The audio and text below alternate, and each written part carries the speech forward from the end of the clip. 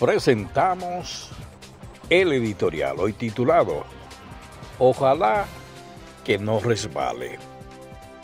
La canasta familiar se ha tornado inalcanzable para una parte importante de la población que no le alcanza con lo que gana ni siquiera para cubrir de manera decente sus necesidades básicas. A las alzas escalonadas que han sufrido todos los productos, ahora se le suma la escasez de la carne de cerdos a pesar de la abundancia y al mismo tiempo el aumento de la libra de carne hasta 125 pesos donde suele aparecer. De los pollos ni hablar. Es una vergüenza pagar hasta 100 pesos por una libra.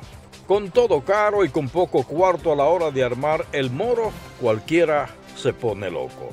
Y hablamos de la gente que tiene por lo menos un salario mínimo.